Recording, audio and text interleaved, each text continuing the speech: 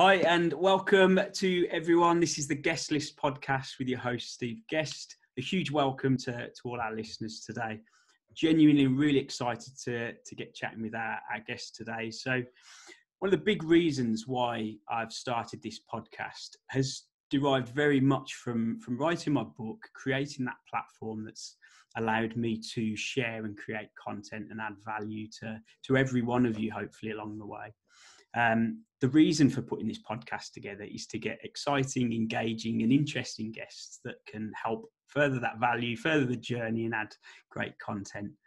I put out a post on social media a few weeks ago and said, Who would you like me to talk to? Who within my network would you want me to be speaking to and that you'd like to listen to? Um, and today's guest is one of those individuals, and I'm delighted to, to have him on the show today.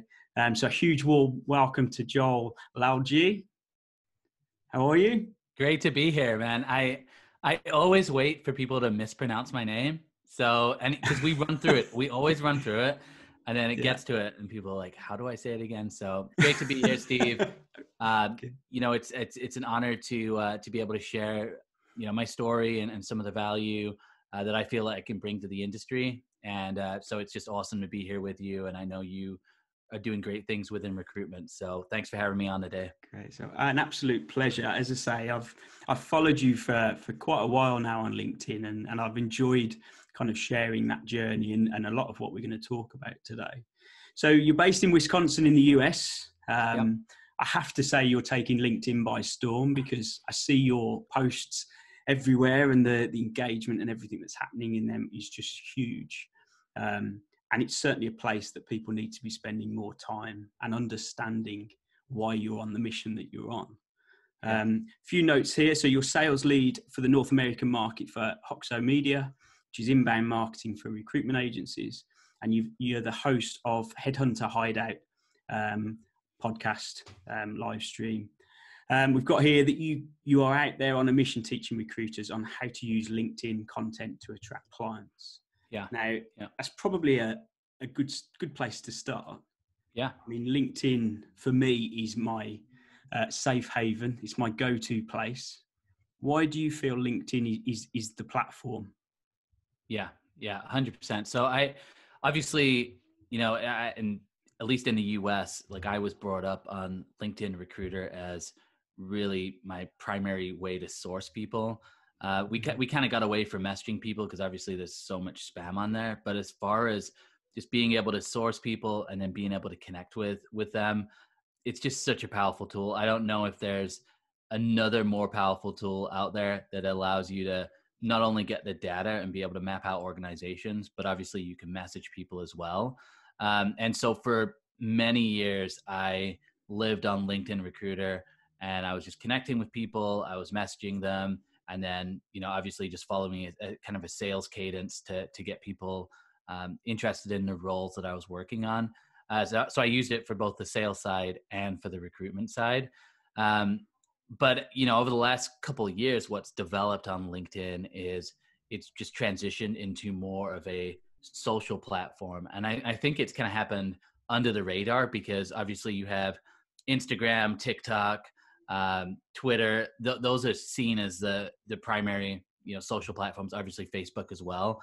Yeah. Uh, and you know you've got the rise of influencers as well over the last five years. And you know when I think of like influencer, obviously I think Instagram. I think of people who have hundreds of thousands, millions of followers. Um, and you know when it comes to LinkedIn, obviously LinkedIn's a completely different feel than Instagram. And mm-hmm. so because of that, um, there's been a rise of influencer on LinkedIn and there's been a rise of social content on that platform.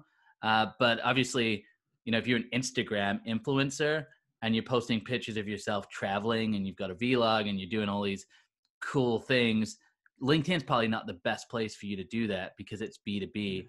And so, kind of under the radar, um, you know, video was released. Um, you've got the news feed, it just really started to evolve and change.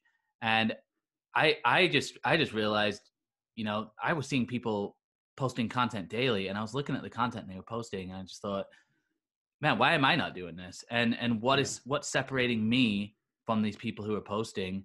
Um, and so now now that i'm using linkedin you know really primarily as a as a place to put content and a place to uh, develop an audience um, i've gone away from i mean i still use it outbound and still use sales navigator but i've i've really got into how can i use content to attract people as opposed mm-hmm. to how can i use use linkedin as part of my inbound or sorry outbound strategy uh, so yeah i just i just think for anyone who's b2b i mean obviously it's not just recruiters anyone that's b2b if you're not using linkedin both as that method to connect with people uh, to learn to collaborate and then to produce content I, I think like you're, you're probably missing out on you know maybe 40 to 50 percent of the full power of, of that network so yeah for if, if you're b2b i think linkedin's a, a no-brainer. Yeah it's huge isn't it? And i think i think even if we look at your transition so you were a, initially a recruiter so you would use it and it sounds like you used it as per the majority of recruiters out there.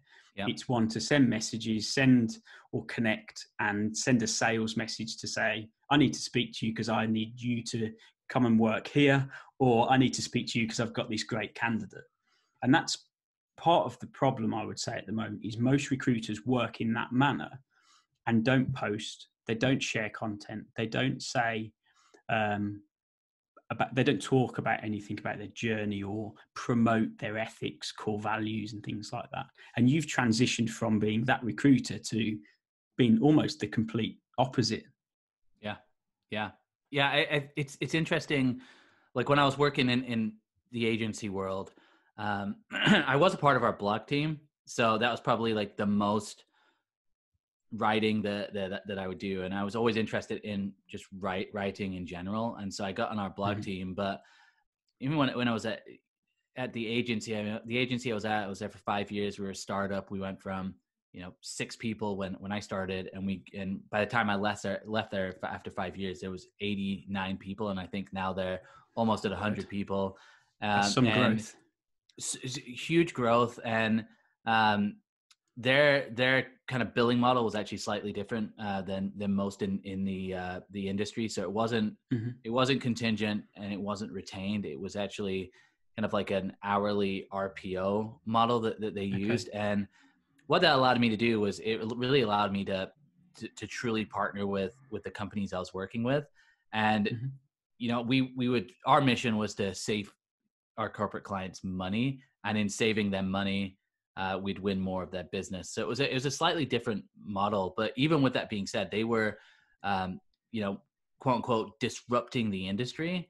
Uh, but I noticed that when it came to content and when it came to marketing, there was just no vision of of how to build a brand. And I think to me, that speaks a lot to just our industry, where people who have been in the industry for you know let's say 10 15 20 years uh, we, we've you know I'm, I'm not at that point i'm about seven years in into the industry uh, but it, i've been in the industry long enough to understand that the mindset is short term it's how do i hit my kpis for the quarter? Hey how do i hit my kpis for the week? How do i do it in a yeah. day?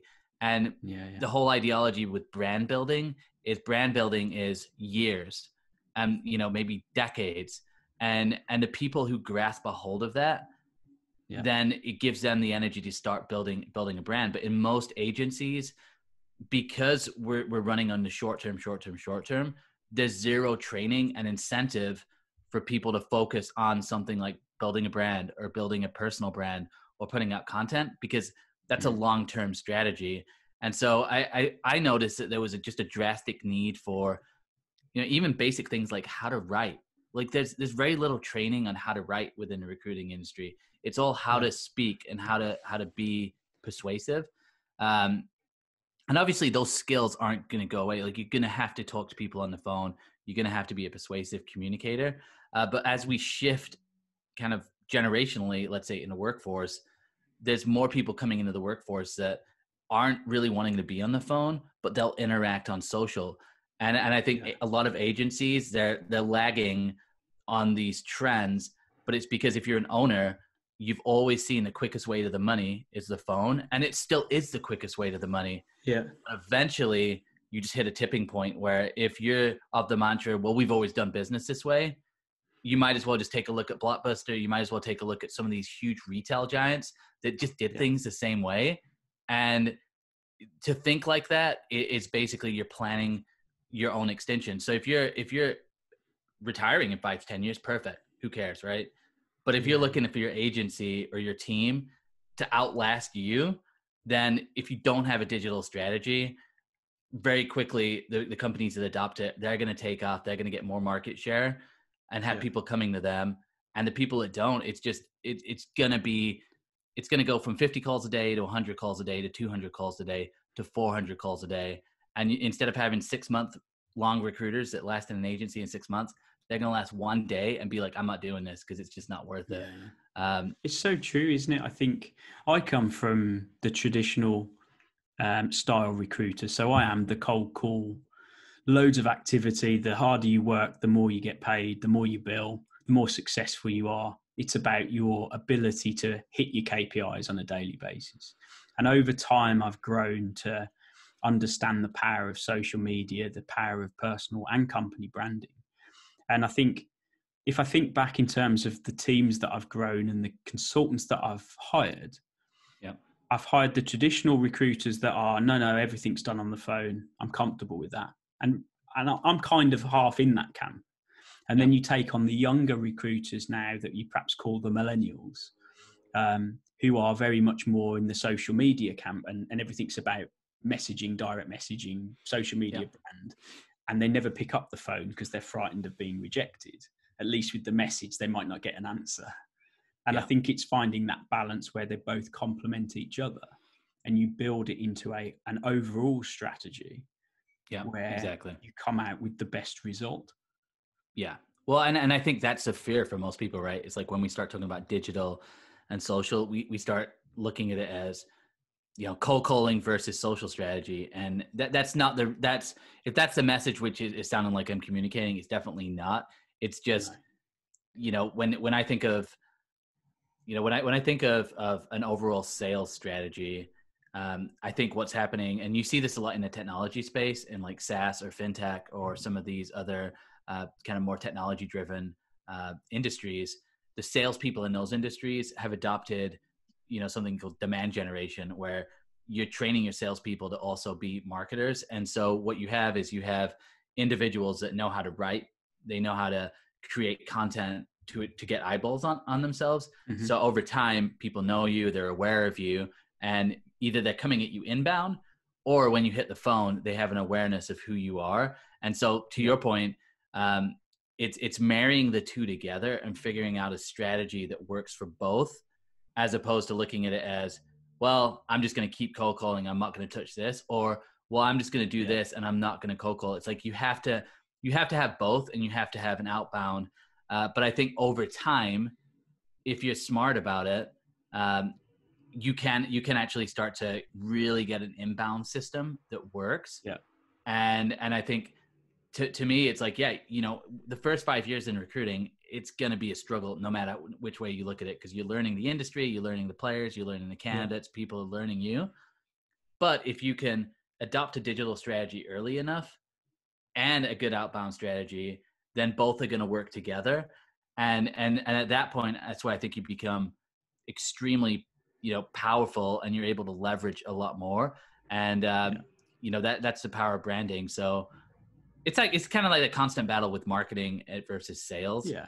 Um, but to your point, it's how do we bring it together and how do we make a more, uh, I guess, almost like a more highly skilled recruiter that that understands different facets of human psychology as well. And you know, I've I've heard it. I've heard some of the interviews I've had. I've had with uh, agency owners that have made millions and millions and millions of dollars. They put all their kids through college. I mean, they've had awesome careers, and a lot of times they're like, well, the CEO still answers the phone. I go, yeah, they do because they know you. But if you're just joining in in the recruitment world, you know, chances of a CEO picking up the phone to you and then hearing you out is pretty low. Um, yeah. But it, but it, it, takes time, so it's marrying both of them together. So yeah, I'm I'm 100 percent with you there. Completely. And I think the conversations I have. So, say I, I talk about this statistic quite often, and um, I'd actually obviously it's developed over time, but LinkedIn, so 600, 706 million users on LinkedIn. Yep. And I think the proportion is only 1% of the users actually post content onto the platform, which is such a minute area of LinkedIn. And, and I think the vast majority of LinkedIn are recruiters.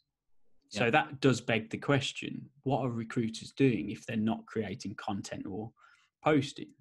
And the answer to that is they're just messaging, direct messaging, and they blend into what every other recruiter does. So, content, publishing content allows you the ability to stand out and differentiate. The problem with that is most people don't know what to post. Yeah. They don't know how to create content.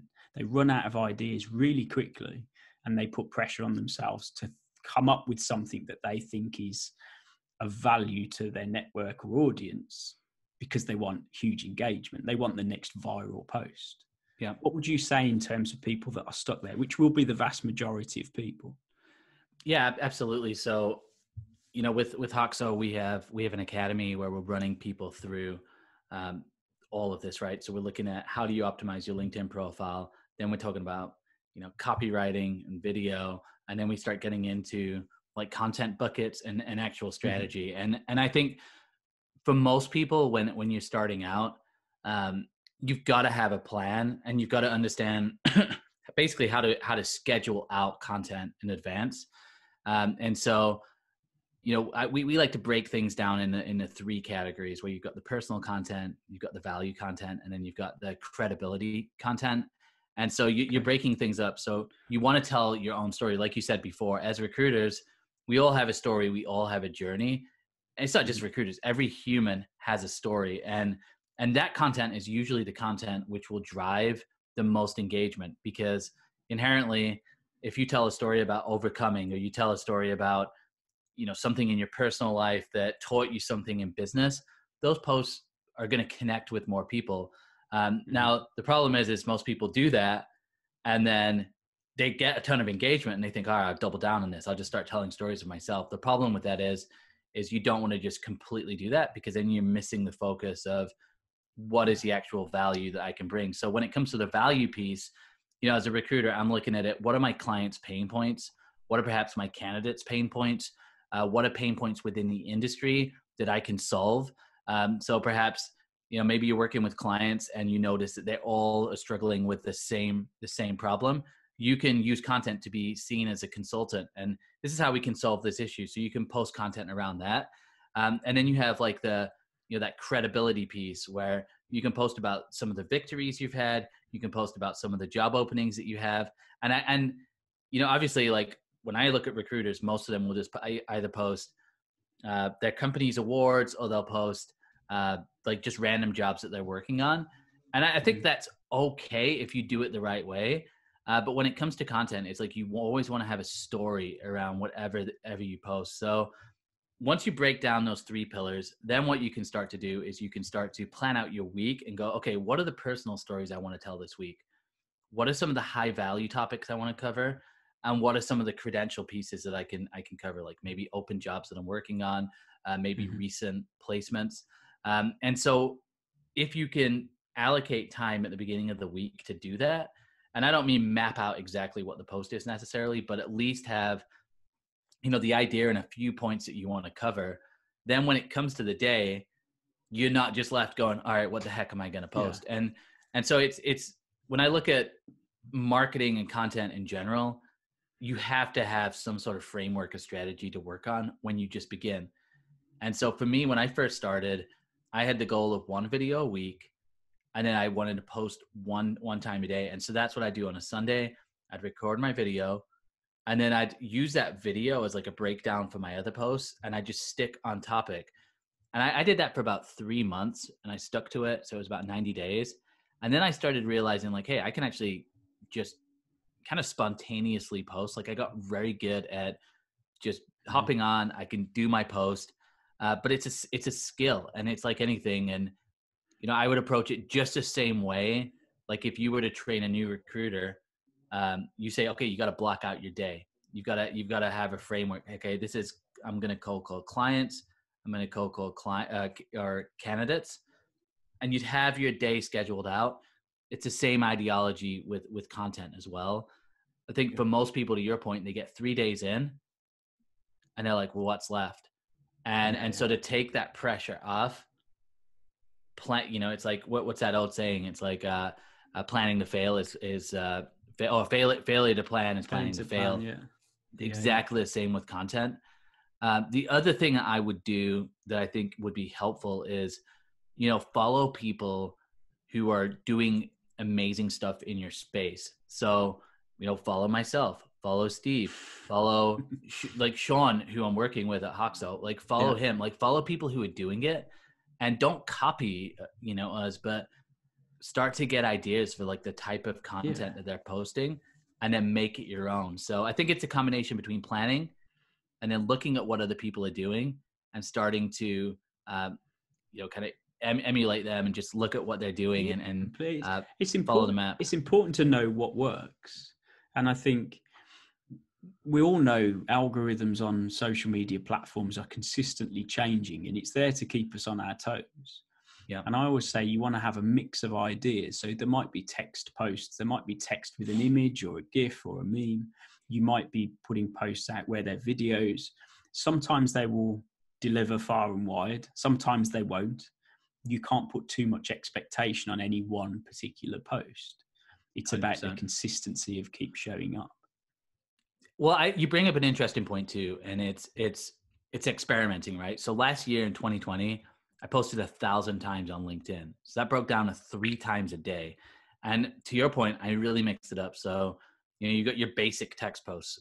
Now, even with the text posts, there's three types of text posts. You can post really short quote, you can post like a medium sized block, or you could post like an extended post where you're kind of got your introduction, your hook line, then you've got the body, and then you've got a call to action.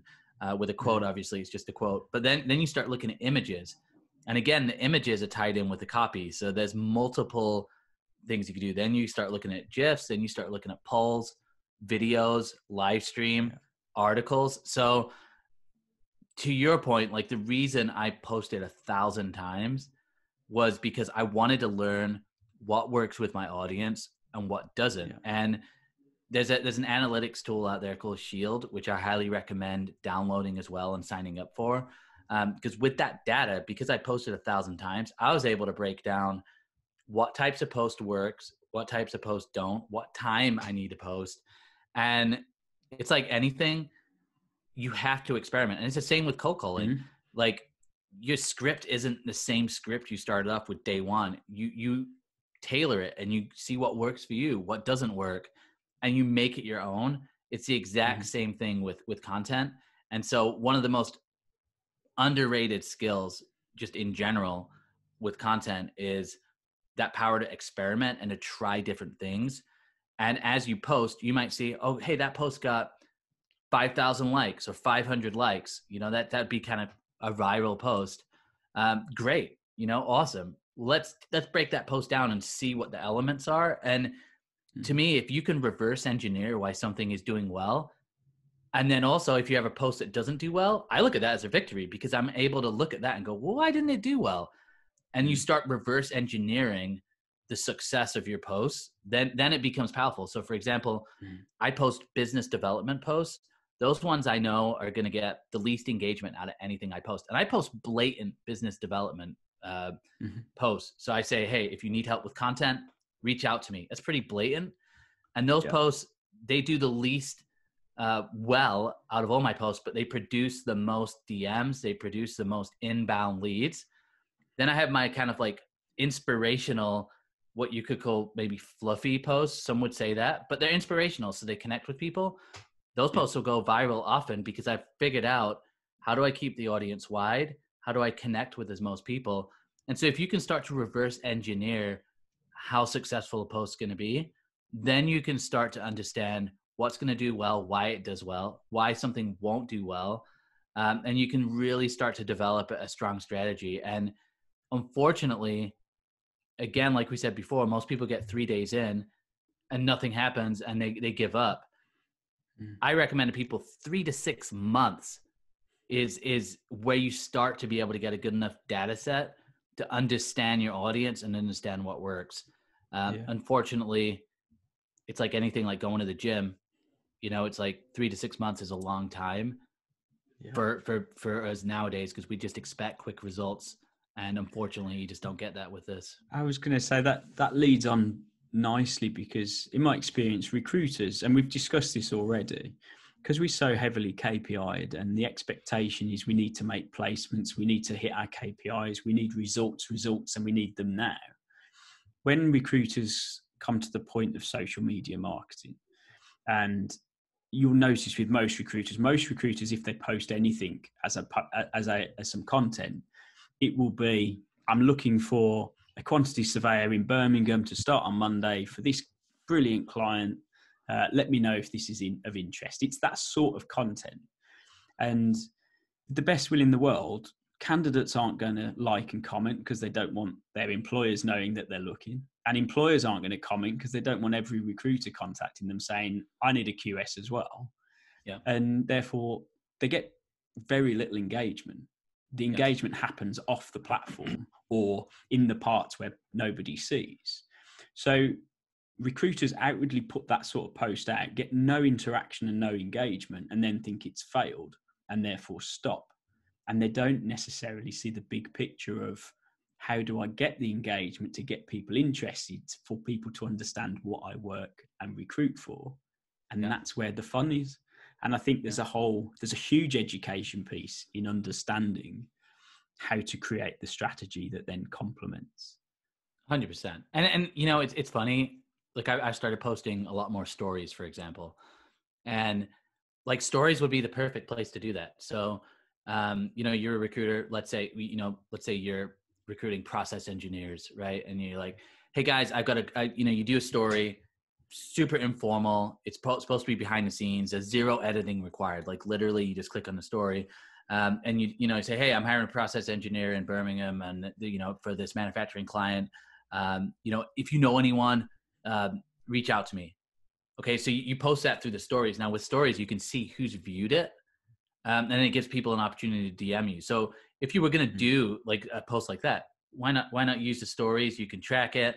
Um, now I think with with the newsfeed, like you could still post that same post. It's just how you frame it, and I think it's how you build it into a story. So for example, um, you know, you could say, "Man, 2020 was a rough year. I've heard about a lot of people out of jobs. I want to give back to the community here. Uh, I've got this awesome job. Uh, you know, feel free to DM me. Like you're putting more of a story around it. Where I think most people are like working on this job. PM me if you're interested. Yeah. And and so when you build when you learn how to build that community, one of the things I've noticed is if you can build a community and audience with some of your other content that's less like that, those people will actually carry through and they'll they'll kind of like and and comment on those posts as well, which will boost the engagement. And so um, I think one of the first things I say to people is build a community first, like build a community that trusts yeah. you. They don't have to be even in your industry necessarily. It's it really you want to find people who are also active on LinkedIn and start building communities with them. And then what you find is when you do do a post like that, or you post something that's more um, in line with your business, let's say, you're kind of you'll get like a follow through from engagement. Uh, but it, but again, it's I, you know, I, I have that vision where, you know, as a recruitment agency, you know, I, I, I think you've got to, you've got to give your people time to do this as well, and and not look at it as a waste of time. And one of the things that we say is like, just you know, look look around your office, or you know, obviously everyone's working from home right now, but start asking your employees like, how long are you actually spending on LinkedIn just scrolling through? And the goal is, if you've got people who are just scrolling through the newsfeed it's converting that time into something productive. And when you can do that even if it's just with engagement like engagement's another way like commenting on other people's posts mm-hmm. it's like there's no training in that. There's no training in your prospects are probably posting things and getting zero engagement. If you show up and you're regularly supporting them that goes a long way. And obviously you might not get on a call and they might not go hey thanks for commenting on my post three times in the last month but yeah.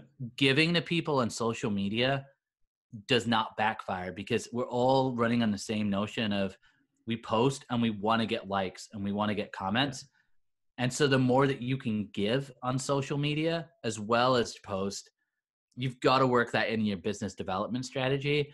And you know, for me, it, it's it's the more your name is out there, the more people are going to be aware of who you are, and that's that's kind of the goal, right? It's the goal. It's like I want people yeah. to know who I am. Um, so when I reach out to them, you know, the, one of the most common things I hear is, "Man, yeah, I've seen your videos or I've seen your content." And these are from people who never have commented before or never never interacted. And I think we just we we underrate like the power of these things because a lot of times to your point it's like people don't want to engage, they don't want to like. So the yeah. only way to get that engagement is to find other people who are engaging, collaborate with them, and be consistent with it. And uh, but I, th- I think there's ways there's ways to incentivize it. And the advice I would give any agency owner is, you know, because this comes up a lot. Like, how do we keep our people accountable? To to me, you've got to lead by example. If you're the agency mm-hmm. owner, you've got to lead by example, and you've got to take it seriously, and mm-hmm. you've got to show your people that hey, yeah, it's probably going to take some time, but if we work this into our schedule and we start maybe putting more goals around like connecting with people and posting content and kind of work as a base, mm-hmm. you know, kind of work as a team, you know, what you'll start to see is like you'll start to see those inbound leads coming in. And as soon as that starts to happen, as soon as you get old candidates that you placed 10 years ago calling you, old clients as soon as you start feeling that effect, that's when your people will buy into the system. Um, but you've, I think, as a leader in your company, if you want to innovate, you've got to take that first step. Um, yeah. And you know, I, I I know in my experience, like even just working for people that train cold calling, there's nothing worse than like a manager that's telling you to do calls and they're not making calls themselves, which is why it's like I feel like the best leaders in recruit in recruitment are the ones that still run a desk because they're in it and they get it and they're yeah, able to say 100%. hey i'm with you in this and i think it's the same with with content um, and the other piece is i think one of the things that will happen over time is um, for example i spoke to joe mullings who's in the us he's he's got you know starting up a, a an office in the uk as well and he's mm-hmm. in medtech and he's been producing content for five years and really bought into it at his mm-hmm. office they got rid of all the cold calling kpis and now they have more KPIs around LinkedIn. Uh, but it's okay. still with that understanding of like he wants people to feel comfortable. So if they're not ready to do video, um, you know, he doesn't force them to do it. If they're not ready to write, he doesn't force them. But what he finds is as he hires people on, they see the top performers in the office have the biggest brands, and they want to get there too. And and I'm not saying like, hey, overnight get rid of your KPIs for cold calls, but we need to start just integrating and marrying the two together and figuring out ways to reward people because uh, ultimately again like we've talked about before it's like that the digital it's just growing exponentially and and now is really the time with linkedin. There's so much there's so much opportunity out there with organic reach and yeah, all, all this think, good stuff. I think the the pandemic the last year certainly in the uk we've spent the majority of the last 12 months in lockdown and m- the majority of businesses including recruiters are sat at home and they're working remotely they're working from home um, and the ability to get in front of clients by way of phone calls or emails or direct messages has become that little bit more difficult because you can't ring through a switchboard you can't get through reception or a pa to speak to somebody. You need to know their mobile um, or you need to write engaging content on a message or an email to get a response. So for me, the biggest thing people can be doing to kind of almost complement those elements is to build that social media presence and that brand because so many of us are spending more time on social media than we ever have 100% um, and i think for recruiters at this point in time especially to be able to reach that extra level of performance, that higher level of ability. Being able to write great content, engaging posts, um, promoting that personal brand is now more powerful than it ever has been. Um, yeah. and, and people should be investing a lot more time in spending, whether that's self development or education. Um, what i mean in terms of so let's say we've got the content we've got the ideas we've got a plan in place how do you get better at writing? How do you develop your techniques to? I man, I think it's like what we just said before, where it's like you get better by doing it, and there's just no way way around that. And you get better, and you know your audience by just doing it more and more and more. And it's the same with like video and live streams So when I get like the first guy that I interviewed was Lou Adler, who's you know a huge voice in recruiting in the U.S. He's you know an mm-hmm. official LinkedIn influencer. He's got a million followers. That was my first live stream that I did on LinkedIn. And if you go mm-hmm. back to that video because it's on my profile, I was kind of awkward. I didn't really know. I, I had no questions up. I remember I started getting like super kind of hot, and I was like, "Oh man, like where is this conversation going?" And he was a big personality, you know, and he kind of backed me into a corner and started selling his program. And I was like, "Oh my gosh, this is not where I want the conversation to go." But a year later, now it's like, you know, I've interviewed people like Greg Savage, Burt Miller, who's the, the CEO of a, one of the largest franchises in the U.S. And now, as I interview uh, bigger names, I've gotten more comfortable. I've gotten better on camera. I've gotten better at asking questions and listening and developing questions off what they say. Um, and and now there's a new app out there called Clubhouse. So I'm on Clubhouse a lot. Yeah. And what I realize is I'm good at Clubhouse because I practice the skills of interviewing and understanding to have conversations on camera. And I've also done a lot of podcasts. So I think it's the same with writing. It's like you just have to keep doing it, keep doing it, keep doing it, and you get better. Uh, mm. And the other thing is too is like again like consume content, like consume the pe- consume content from people who are doing well. And this will be the same. This isn't just on LinkedIn. This is on Instagram, TikTok, Twitter. Mm-hmm. Look at the posts that go viral and figure out why it's going viral, and then get better at doing that. That's how you get good at social media. It's like consuming it that's yeah. how you get good at podcasting. You look at podcasters and you look at the interviewers and you go, what are they doing that's so engaging?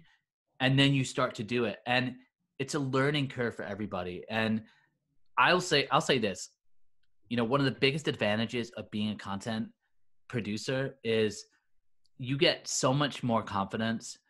You get an authority because mm. you because for most people what holds them back is fear of what other people are going to think fear of what other people in the agency are going to think fear of what their clients are yeah but the reality is is once you break past that fear you kind of enter like a stratosphere of like where you're bold your confidence and you feel like you know you feel like you have an edge over your competition is basically what it comes down to so yeah, if you've got 100%. if you you get a post that got 5000 views in the morning you're going to be a better cold caller when you're calling people because you got that confidence and you're like, man, I've got this yeah. brand that I'm building.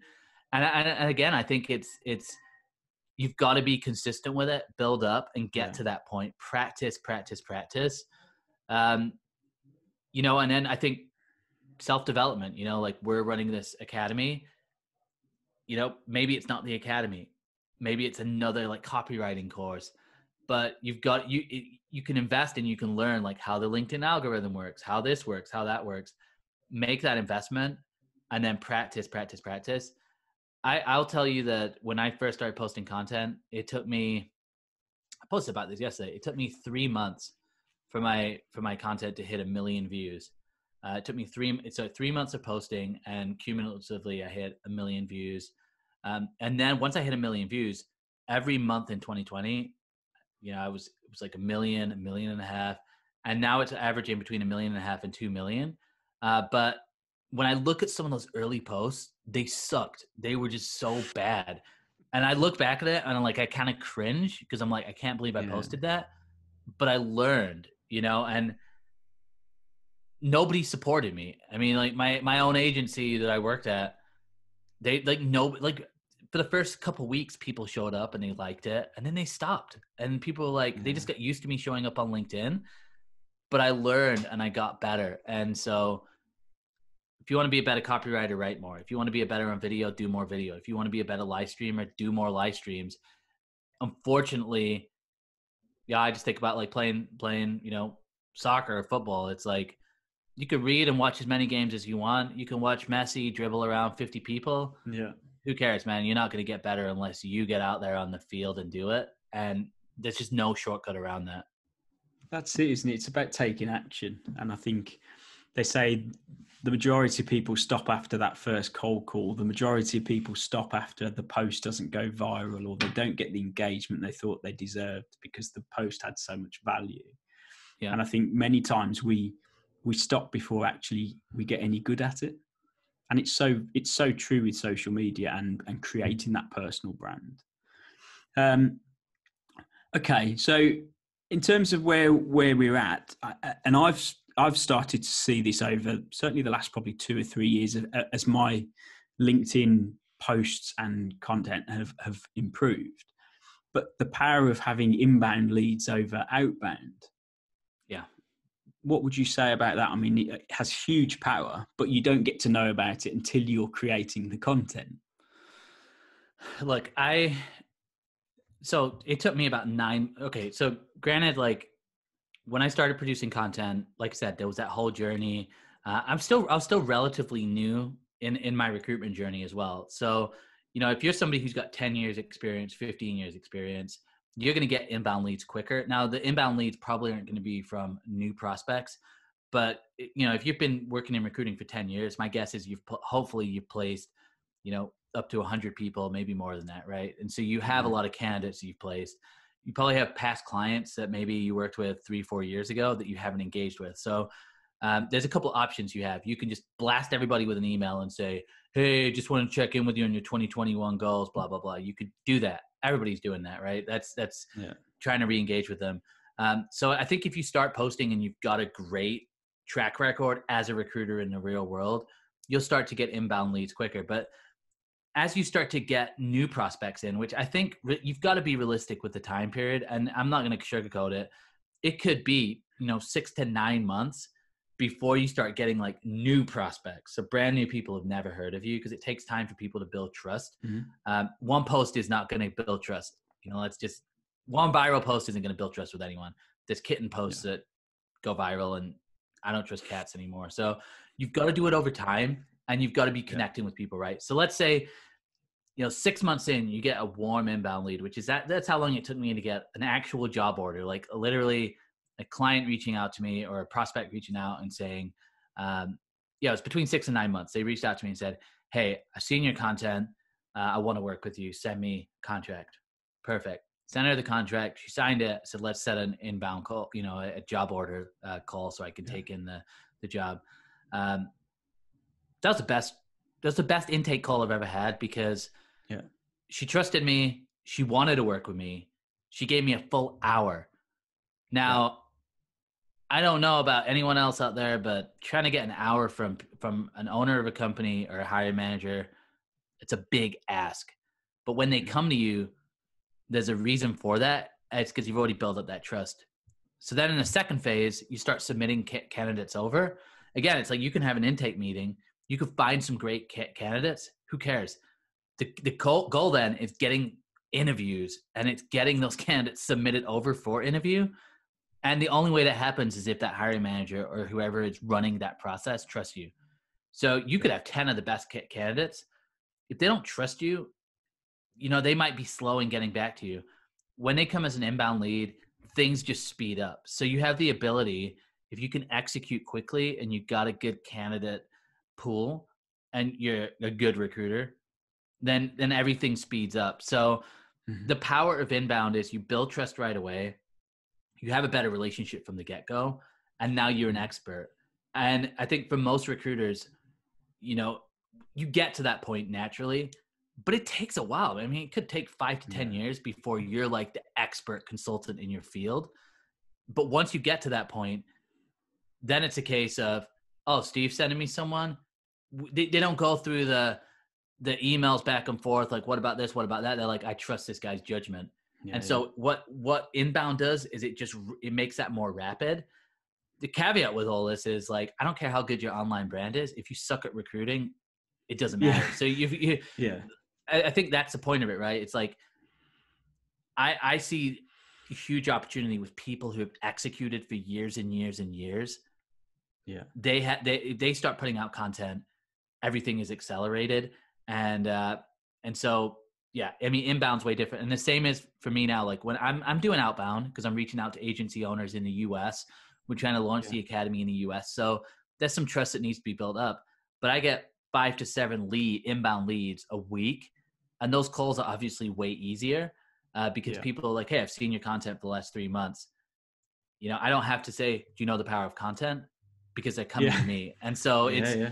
It's um yeah and, and i think that's where like that, that once you get to that point you see the value it's just getting to that point and it's it's like looking at someone who's ripped and they've been going to the gym for five years you're like you know like how good does it feel you're like yeah it feels amazing but you can only experience that until you got it and i think it's that journey that's Yeah. what you have to cross through and there's just no shortcuts with that um I think that's it. And I've always said to any new recruiters or any recruiters that move businesses to set up their, their new desk or their new business, it takes six to nine months to build a successful recruitment desk where people get to know who you are and what you're about and, and whether you're any good or not. And that can come straight from the fact that if you were just purely cold calling, which is how I started out, it was still six to nine months to build a desk. It's six to nine months now to build a desk if all you did was activity and calls. But actually, the ability to back that up with a strategic way of working from a social media and a personal branding perspective, yes, it will accelerate it, but it can still take the six to nine months. If it takes Exactly. seven touch points to build a working relationship and build that trust, whether it's social media or, or conversation, Yeah. you've still got to have that thought process.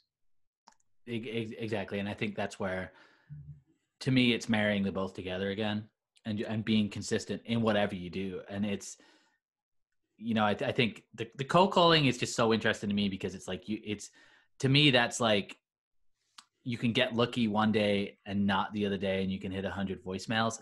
I actually think you have Yeah. a lot more control over a social media strategy, and you can you Yeah. can track it, and that's where I think it's just doing both in you know in in kind of concurrence and understanding that that Yeah. power. I think especially right now, it's a hot trend, right? Everybody's wanting to start up their own agency. You've got the power with technology. Let's face it, you don't need a big corporate brand anymore. I mean, you could build a Mhm. personal brand. We have the technology to do it. You can automate a lot of things. There's a lot. We have a lot more technolo- technological power than we ever did before. Uh, but Yeah. regardless, if you start, if you start something yourself, you're gonna have to either cold call for six six to nine months, or you're gonna do content for six to nine months. But really, the, the best strategy is to do both, and Yeah. and build a brand from from the get go. I think, you know, in in talking to a lot of clients that I'm I'm working with, it's like they they've built you know that word of mouth and their referrals, and that's great, and like you want that, and obviously that's not going away. But it's it's it's like you're just missing this whole section of inbound inbound leads and it's because they didn't do it from the start or 10 years ago when websites were all the rage they never even set up a website and Yeah. you know it's like all of these things they don't work independently and it's not a battle for seo versus website versus content versus cold call it's like Yeah. let's work out a system that is like let's work out a machine here that, that works so yeah. man i love it I, I, I as you can see like i i love this stuff and I, and I mean it because i'm not i'm not somebody who like you know I, I made the transition from recruiter to marketer because i'm a practitioner and i fell in Yeah. love with writing and building up audiences. And you know I, it's not just linkedin. Did the same thing on tiktok. Now i'm doing that on clubhouse. And i just love i love the idea of like figuring things out. Um Yeah. and I, I love the idea of marketing and psychology. And i think as recruiters it's like we're really good with understanding the psychology of sales. And i think a lot of us could be really great at marketing. It's just Yeah. There's nobody to just make that path for us you know It's no one channeling it, isn't it? Yeah, it's It having is. having the right people around you to be able Exactly. to help you get to where you need to get to. Joel, that has been amazing. I've loved every minute of that. yeah i love it man these times always go quick that's what i've noticed Yeah, if um, obviously our listeners are, are keen to to come and find you, obviously we've mentioned a few platforms there. Where's the best place for them to to come and connect? I look, I would say right now LinkedIn, man, if you if you just you just got to send me a personal message that says like, hey, listen to the podcast, um, you know, let's let's connect. I I I'm maxed out on connections and I got like six thousand in the inbox that I have to weed through. But if you put on there, hey, I'm, I I heard you on the podcast. If you're a recruitment professional, I'm gonna make room for you in in the network. Yeah.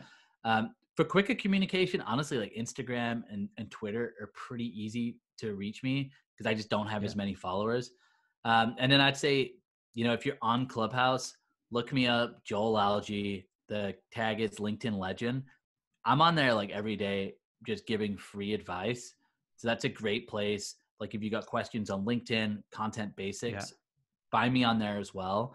Um, that that'd be the best way. I think in terms of um, you know how I operate. Like one of the questions I get a lot is like, "Can I have free advice?"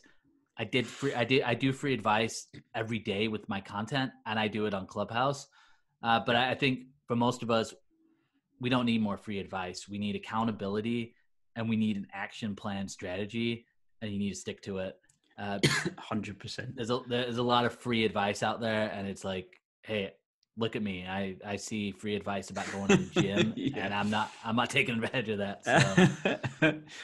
it's been an absolute pleasure. If you're going to leave our listeners with one one thing to go and do or one piece of advice that you feel will, will push them forwards, what would that be? Yeah, I might you know, my advice is is the same for anybody if you're wanting to start in a content journey. Start engaging with other people first. It's the easiest way to get used to writing get used to showing up. So I would just say follow us on LinkedIn and just start engaging with our content um, and just move, move forward, do something, take action, um, and and just start. I mean, that's that's the best advice that I have for anyone. Uh, that's it. Simple. That's great start. advice, Joel. thank you so much. It's been an absolute pleasure. Yeah, thanks for having me on. I love I love it, and I'm I'm honored to be a guest, and I do have your book Look as well. at that. Even so, a bit of promotion at the end. Thank that's you. right. Got to do that. Oh, I love it. I love it, man. Thanks a lot, Steve. Appreciate, Appreciate it. it. Thank you.